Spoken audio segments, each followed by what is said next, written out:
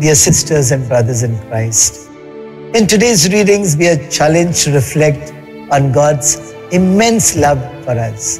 The concept love of God could mean either God's love for us or our love for God. But in this period of Lent, we consider God's love for us first because it will inspire a love for God, which will also be translated in our love for our neighbors. In the first reading, the Israelites, with their political and religious leaders, all rebelled against God and defied God's dwelling place. Out of love for them, God constantly sent messengers to direct and teach them, but their messages were treated with scorn. God did not abandon them, but kept on watching them as they neglected His love and continued with their sinful lives. Being vulnerable for being outside of God's love, they were attacked and taken into captivity by the Babylonians. When they suffered and learned their lessons, God had to intervene because of the love He had for them. By raising up a king who will proclaim their liberty, offer them treasures, and help them rebuild the temple, as we see in Ezra chapter 1. The second reading also confirms this love of God, not just for the Israelites alone, but for all of us. It says that because of God's love for us, He was generous to us with His mercy to the extent that even when we were spiritually dead because of our sins, He had to look for us and give us life. In the Gospel reading, John 3 14 21, we see the apex of God's love. It recalls some significant events propelled by God's love. The Son of God came not to condemn the world, but to save the world. He does this first by being the light. Today, in so many ways, many of us are struggling to find our way in a world of confusion and chaos, of distraction and disturbances, a world of fear and temptation and sin, a world that so often offers us only darkness.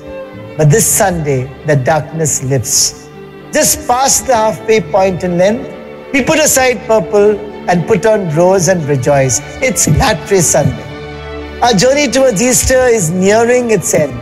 We can see the light in every sense in the love that is offered. For God so loved the world, John writes in his gospel, that he gave his only Son so that everyone who believes in him might not perish but might have eternal life.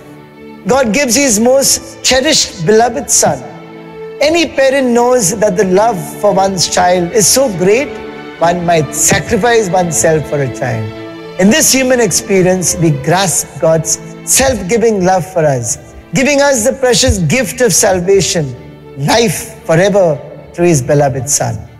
How should I respond to God's love? I need to take my personal prayer seriously, by which I will truly see how God loves me and then receive that love we need to be in the Lord's presence and let Him love us. We will then recognize more and more all the blessings the Lord constantly gives us each day. Next, we need to take that love we receive from the Lord and just give it out to everyone else. To do this, we may need to die to our desires. The Lord calls us constantly put the needs of others and the world before our own. In doing that, we will experience true joy which the world cannot give. God's love within us will challenge us to make a difference to the world. We might, for example, take it in the direction of global warming and care for the earth. Or we might tackle poverty or hunger in light of the abundance most of us enjoy. Or advocate for peaceful resolution of differences. Opportunities stretch from our doorstep and around the globe. God's love for us will move us out of our comfort zone and make us do things to make a change. We may also look crazy to a world that lives out a different set of values which are mostly selfish. Maybe then, during this Lent, be true witnesses of God's love. Amen. For further updates, subscribe to our channel and please click on the bell icon. Thanks for watching.